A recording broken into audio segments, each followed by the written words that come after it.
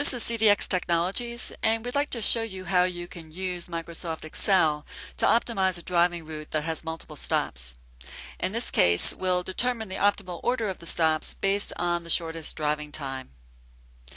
And for the optimal route, we can also calculate the distance of the route, actual driving time, cost, and we'll also create driving directions and a map of the route.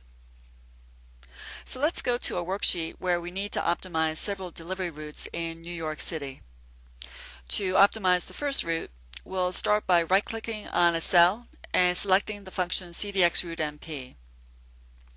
This function works in the background with Microsoft MapPoint to determine the best order of the stops.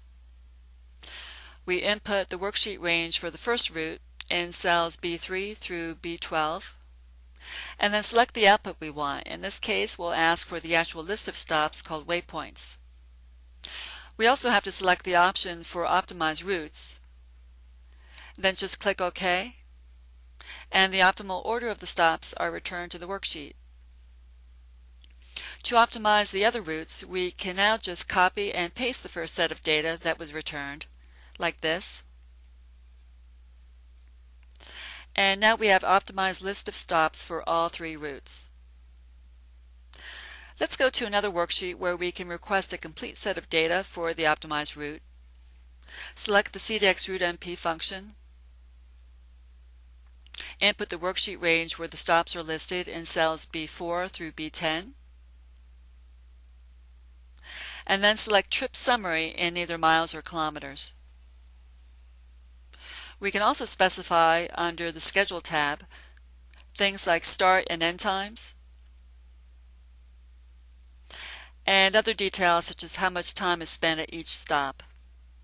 Click OK and in this case the data returned to the worksheet includes driving distance, trip duration and driving time, cost, the optimal list of stops, and a map of the route.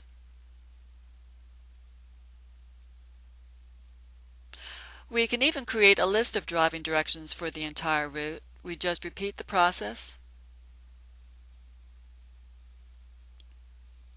Select directions in either miles or kilometers. And a schedule with step-by-step -step directions is returned to the worksheet.